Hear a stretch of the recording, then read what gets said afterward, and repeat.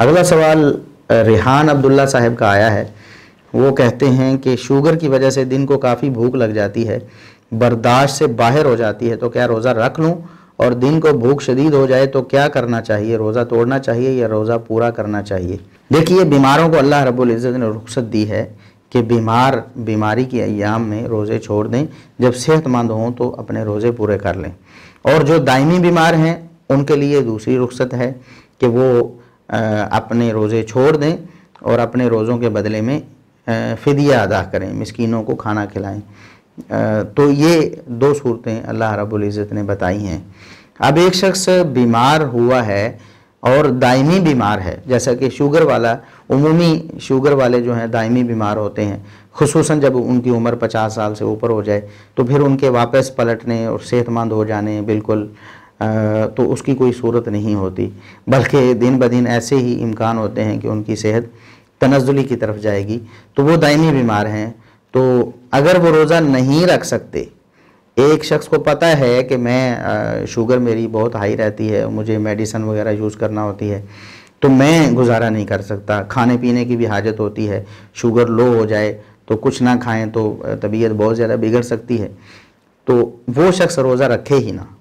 रोज़ा ना रखे, उसको अल्लाह ने रुख्सत दी, रोज़ा छोड़ दे और उसका फिदिया देता रहे।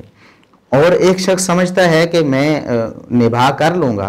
मतलब है कि मेरी उम्र इतनी ज़्यादा नहीं है और मेरी शुगर भी इतनी हाई नहीं होती। अगर मैं चाहूँ, कोशिश करूँ तो इन मैं रोज़ा पूरा कर सकता हूँ। और वो अल्लाह रब्ज़त को राज़ी करने के लिए रोज़ा रखता है, रखना चाहता है तो ज़रूर रख ले।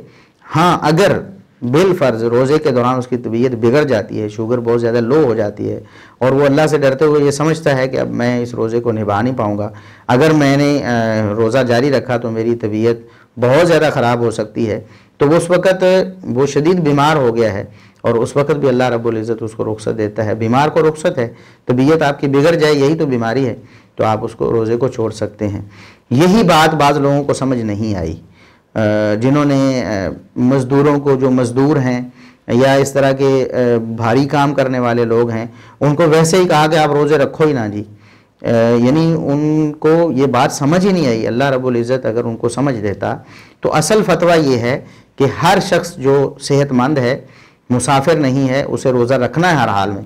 चाहे वो कितनी ही सख्त मजदूरी करता है, हमारे बुज़ुर्ग भी मजदूरियाँ करते रहे हैं मैं ख़ुद वालद गिरामी को देखता रहा हूँ कि वो बड़ी सख्त सख्त मजदूरियाँ करते रहे हैं। सख्त धूप और सख्त गर्मी, जान निकालने वाली गर्मी, जब हमें मतलब वैसे ही बगैर किसी काम काज के गुजारा नहीं हो रहा होता था, तलखी होती थी इंतहाई तो वो रोज़ा रख कर शदीद मशक्क़त वाले काम, मेहनत मजदूरी, खेतों में ये अपना कसी चलाना और इस तरह के काम करते थे तो रोज़े अलहमदिल्ला निभाते रहे वो। तो रोज़ा रखना है लाजिम तौर पर। हर मज़दूर ने, हर ऐसे शख्स ने जो समझता है, मैं बड़ा भारी काम करता हूँ, रोज़ा नहीं छोड़ना। हाँ अगर काम करते करते इंतहाई उसकी तबीयत ख़राब बिगड़ जाती है तो उस वक़्त वो बीमार है और बीमारी के आलम में उसको रोज़ा छोड़ने की रुख्सत है, फिर वो रोज़ा छोड़ दे। लेकिन जब अल्लाह रब्बुल इज़्ज़त उसको ताकत देता है और बहुत से लोग रोज़े रखते भी हैं, अल्लाह रब्बुल उन्हें ताकत देता है। तो ऐसे ही बहाना बनाकर रोज़ा छोड़ देना, या ऐसे लोगों को फतवे दे देना कि आप रोज़े छोड़ दो तो ये इंतहाई ख़तरनाक सूरत हाल है। ऐसा नहीं करना चाहिए। तो शुगर का मरीज़ हो या कोई और मरीज़, जो समझता है कि मेरी तबीयत बेहतर है और उम्मीद है कि मैं रोज़े को निभा लूँगा, रोज़ा रख सकता है। अगर उसकी तबीयत बिगड़ जाए रोज़े के दौरान तो वो रोज़ा छोड़ दे और रमज़ान के बाद उस रोज़े की कज़ा दे ले, फिर अगला रोज़ा रख ले। ये तो नहीं होता, हर रोज़ तो उसकी तबीयत नहीं बिगड़ती, कभी बिगड़ गई है। तो वो रमज़ान मुबारक के बाद सर्दी के दिनों में रोज़ा रख ले। अल्लाह रब्बुल इज़्ज़त ने आसानी दी है उसे। किसी भी दिन रोज़ा रख सकता, जब दिन दिन छोटे हों, उन दिनों में रोज़ा रख ले। जब सख्त सर्दी हो, उन दिनों में रोज़ा रख ले। और जो शख्स, उसे पता है कि मैं अब सेहतमंद नहीं हो सकता तो वो साथ साथ ही फिदिया देता रहे।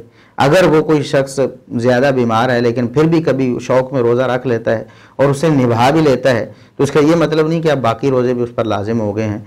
वो देखे कि मेरी तबीयत साथ नहीं देती तो ना दे। जितने रोज़े उसने रख लिए हैं, वो रख लिए हैं, जितने नहीं रखे या नहीं रख पाया, उनका साथ साथ फिरिया देता रहे।